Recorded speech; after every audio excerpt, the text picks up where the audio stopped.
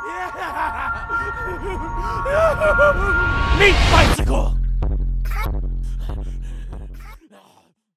Hello, everybody. Welcome back to another episode of Best Builds here on Borderlands the pre-sequel. We are back for another episode, and uh, as you can see, this episode is going to be a claptrap build. So these are, of course, as always, offered as a level 70 Ultimate Vault Hunter mode game save. So you guys can go down to the description, and there will be a link in there, and you will get ev- exactly everything you see in this video. Or, of course, if you already have a level 70 claptrap and you want to, uh, you know, rebuild yours uh, to something different and have a different playstyle, then you can, of course, copy this as uh, as and when and do what you want with it. So, uh, yeah, either copy it or uh, download it as a game save. So today uh, we are going to do another frag trap. This is our second frag trap game save, and uh, this one was again found on the Gearbox forums and uh, was made by a guy called the Professional, who uh, did do a build before called Wreck It Trap, apparently, by the looks of it, and uh, he's now updated it to level 70 and changed it slightly. So today we're going to be looking at the CQB Cowboy. And like I said, this was made by the professional. I will link uh, his build in the description down below so you can go to the Gearbox forums and have a look at everything. But uh, yeah, this is a CQB Cowboy.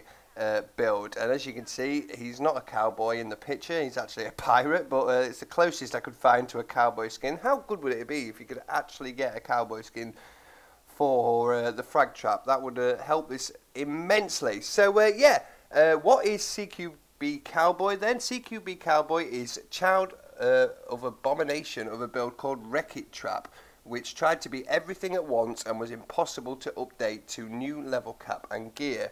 So this build is slightly more specific. It's more Jacobs brand and shotgun based swab melee build without explosive weapons. So finally, there's a blooming frag trap build that isn't revolved around Torgue and explosive weapons, which everyone seems to use. So here are the uh, here is the skill tree layout that uh, you need to do. So go ahead and copy that perfectly if you want to uh, if you want to do that. Um, the skills are just completely uh, you know brushed around in Boom Trap and I Love You Guys and Fragmented Frag Trap. You know it's not a tree specific build.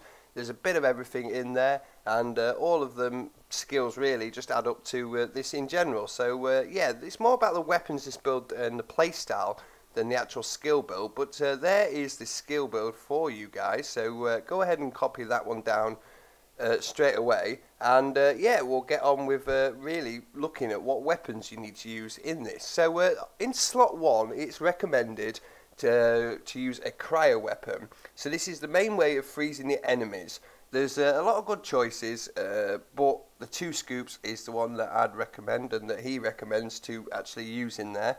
You just need something good, uh, shotgun and freeze. Uh, you don't have to be shotgun. You can use uh, things like the Fatale, um, the frig, uh, Frigadier, whatever you call it, Frigigia. I always struggle with that name. That um, unique uh, assault, uh, sorry, unique SMG. Where is it? There it is.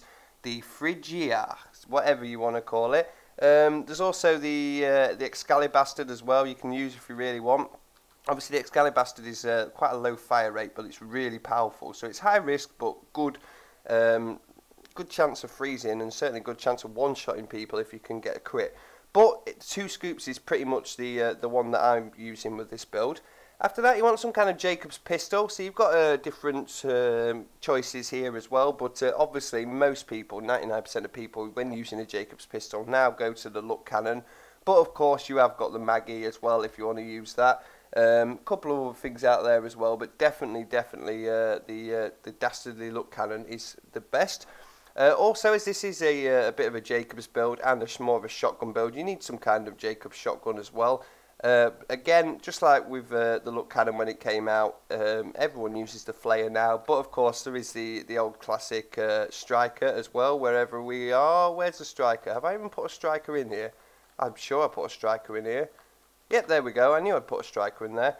Obviously, like the Striker and the Maggie, these two were replaced with these two guys once it come out. But uh, you can choose what you want. Obviously, the Striker is a bit more uh, ammo friendly, really, than the Flayer. The Flayer is powerful, but it does use a lot of ammo. So if you haven't got a lot of shotgun ammo, you can always switch to the uh, the striker just to calm things down a little bit.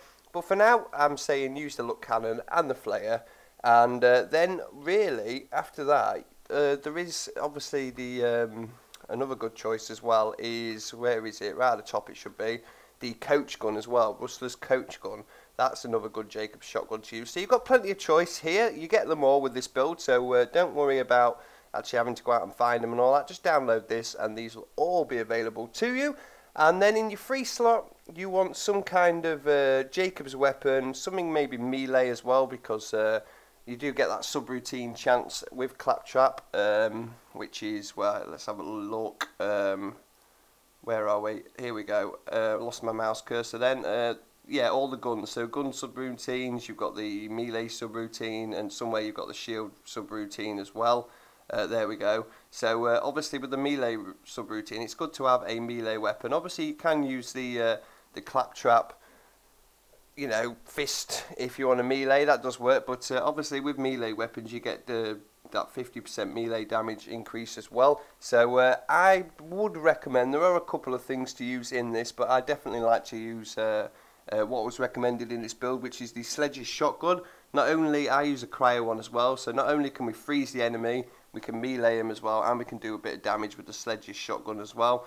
Uh, so uh, that kind of rules out using two scoops sometimes, especially if you get that melee subroutine. I would definitely go for the Sledge's Shotty with the blade, um, which they always spawn with, obviously. And uh, yeah, just go mental with it. Uh, so there are the guns anyway.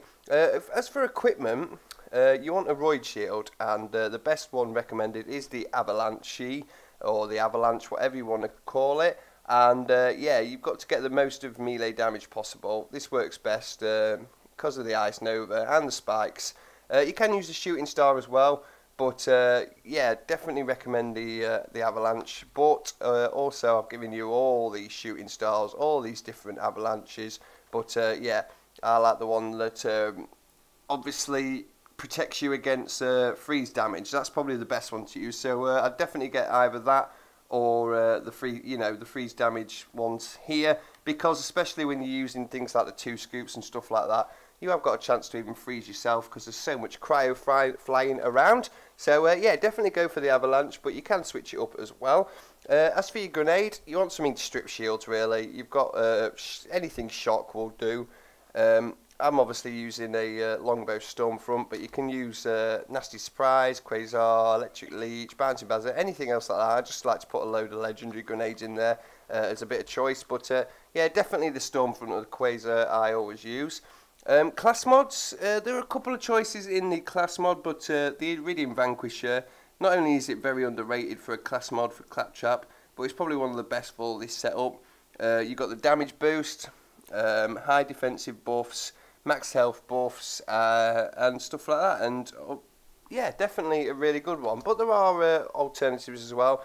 The rampant Robo Ninja class mod that obviously boosts melee damage, which is good if you, especially if you get that melee subroutine. Plus, it gives you five into repulsive, four into float like a bee, and four into all the things are awesome skill as well. And then finally, let's have a look at the Oz kit. We're using the Arctic Duality Oz kit. Um, because uh, yeah, you definitely want something like extra damage against super badasses and things like that. Uh, this will boost your melee and quick damage. This class, uh, sorry, this Oz kit. Um, so yeah, really, you can use other things like. Um, obviously, the Eddie's not very good in this one or out like that, but uh, I like to use the Eddie too much, so uh, I definitely recommend some kind of duality Oz kit. Even systems purge sometimes as well. I've put that in there as well. Um, but yeah, you really want to go for slam damage and uh, get your shield recharge delay and recharge rate. Um, but the melee damage and the crit damage on the duality Oz kit is probably the best. But I've put you a load of different uh, uh, duality Oz kits and system purges in there, all of different um, elements. But cryo again, you, it is a bit of a cryo build, and uh, I did say in the last episode it was nice the toy box one. It was nice to have a different build that wasn't cryo because nearly all of round one characters that I used for these were actually mainly cryo focused, but Claptrap one it was uh, explosion focused, and uh, yeah, definitely nice to get a bit different from Claptrap. So uh, no Torgue or um, anything like that. But this really is a good build. It's a really good style of build, and uh, as you'll see in a minute with some different footage, there's loads of different ways to play that. So uh, let's go ahead and uh, give this character a test out.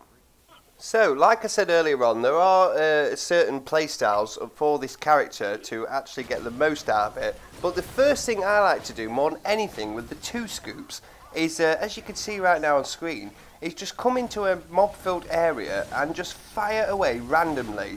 Uh, shoot towards the enemy, of course, but just create some kind of cryo storm that goes absolutely mental. And as you can see, although the two scoops isn't too great at damaging, uh, with all the skills combined with this build and that, it just absolutely pops enemies to shreds. So uh, that's one to uh, definitely um, keep in mind and a really good way to uh, actually you know, rip through many waves of enemies. So, like I said, there are certain distinctive uh, playstyles to this. The first is obviously just using the uh, the flayer or your shotgun of choice, your Jacobs shotgun of choice, or, or your Jacobs pistol as well, so the luck Cannon, and just completely, uh, you know, use the skills and that to, to damage there. But it all depends on your weapon subroutines, how good this character actually is, and what playstyle you actually have to use. So if you get a weapon subroutine, um, you use, you know, obviously use your weapons as you can. Um, you don't have to melee up uh, this. You just basically maximise your chances with uh, your shotgun and your pistol. Um, you can use melee, but you've got to be more careful. So make sure you use your guns more, grenades, other things like that against tough enemies. Um, and uh, yeah, just basically use it like that. So as you can see, the uh, the flayer and the uh, Luck Cannon do pretty well here. Slam about a little bit as well, and just make sure you get them frozen with your uh, your Cryo Oz kit, but uh, just go absolutely crazy. So uh, we've seen the flayer in the previous clip. This is the luck Cannon now. Still pretty much one-shots any enemy that it comes near, especially if you hit the the crit spots, and just does really good. Also, if you get the shield subroutine, then you've got to try and make the use out of your weapons and swap. You can use melee, but uh, it's quite a lot weaker because your Roid shield tends to be up most of the time with the shield subroutine. Um, again, slam about a lot and uh, just basically maximise your chances of freezing enemies and taking them all out there. But if you get the melee subroutine, that's where you need to switch things up. So as you can see right now, we've pulled out the Sledge's shotgun with the blade on it, and uh, we're just running around, absolutely ripping through enemies. Keep your shield down as much as you can, and uh, you should be able to pretty much one-shot nearly all normal enemies, and bosses even will not take that long as well. Uh, you can switch to two scoops as well to keep this uh, freeze chance up a lot more, but uh, I like a bladed weapon with that extra 50% melee damage as well. So uh, yeah, basically just to go around and switch it up with all different things. So obviously shield, subroutine, can't melee as much because your shield's up, so use your guns a lot. Obviously, whatever weapon subroutine you get, use uh, that to maximise your uh, chances of the bonuses to whichever weapon type it is. And then if you get the melee subroutine, pull out your sledge's shotgun, I recommend, and just go around and melee the hell out of whatever moves. Keep your shield down, keep going close to enemies, they'll slam you. That's a good way of getting your shield off. And uh, yeah, just basically go around and rip enemies up. So once again, that is the CQB Cowboy build. Uh, made by the professional from the Gearbox Software forums. The link will be in the description to his thread, as well as the download link for this character. Download it, give it a try. It's a level 70 Ultimate Vault mode um, game save and uh, yeah let me know what you think of it guys. I really like this one. Nice to be a bit different with Claptrap even if we are cryo heavy still. But uh, yeah hopefully next build will be completely different to that as well. So thanks for watching everyone and I'll see you guys in the next one